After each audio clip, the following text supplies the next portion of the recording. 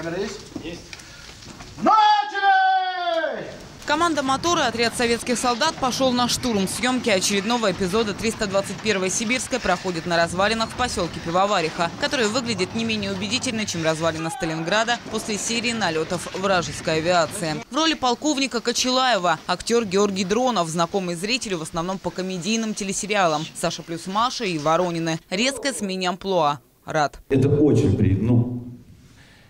э, образ, который очень хочется воплотить, потому что он пример. Знаете, как еще мне один хороший сказали, вот этот человек, как я понял из его истории, есть два типа командиров, э, рассказали мне военные. Одни командиры кричат вперед, а другие кричат за мной.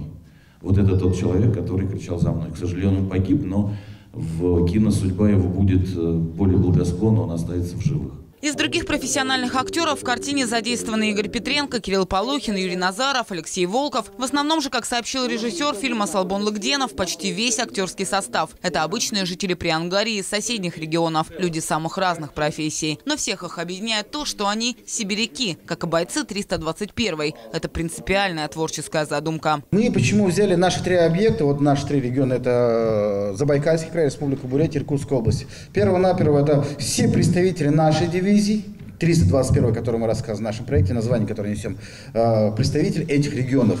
И чтобы э, все персонажи, все люди, даже массовка, даже а, второй план, актеры, которые принимают участие, играют те или иные роли, образы, они должны представлять свой регион, потому что есть самобытность этих регионов. Следующий этап съемок в Иркутской области пройдет весной. Сталинградом на этот раз станет территория бывшего металлургического завода в Свирске. Галина Тернева, Павел Марков, Александр Барановский. Новости сейчас.